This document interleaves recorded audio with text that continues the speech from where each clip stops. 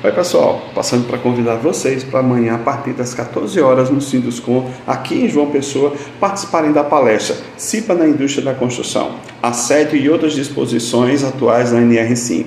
Na oportunidade será falado a respeito do que é a CIPA, a CIPA na construção civil, o assédio moral e o assédio sexual que a CIPA vai poder contribuir no que diz respeito à disseminação, à prevenção e muito mais. Tudo isso terá como facilitador José Hélio Lopes, ele que é educador aposentado da Fundacentro, e estará aqui conosco dando essa contribuição. Então, você que é estudante da área de saúde e segurança do trabalho, você que é profissional da área de saúde e segurança do trabalho, você que é gestor de obra, não pode faltar. Então, participe, vai ser muito bom. Eu estarei lá. Eu espero por você.